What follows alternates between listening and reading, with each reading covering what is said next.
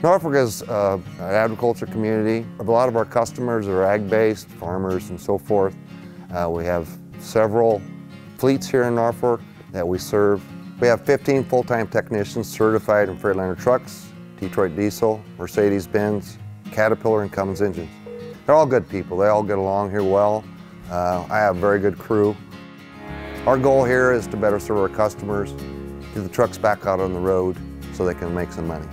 This is Truck Center Companies of Norfolk and we love our customers.